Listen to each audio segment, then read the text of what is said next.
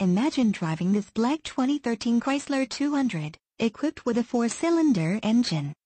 Enjoy this great car with features like remote power door locks, cargo mat, fuel data display, heated outside mirrors, touring, suspension, power driver seat, cargo light, auxiliary audio input, halogen headlights, satellite radio, tire pressure monitoring system, on steering wheel audio and cruise controls, and much more.